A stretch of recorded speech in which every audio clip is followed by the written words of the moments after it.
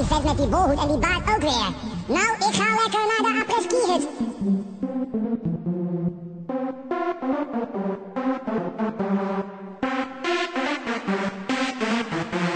Oké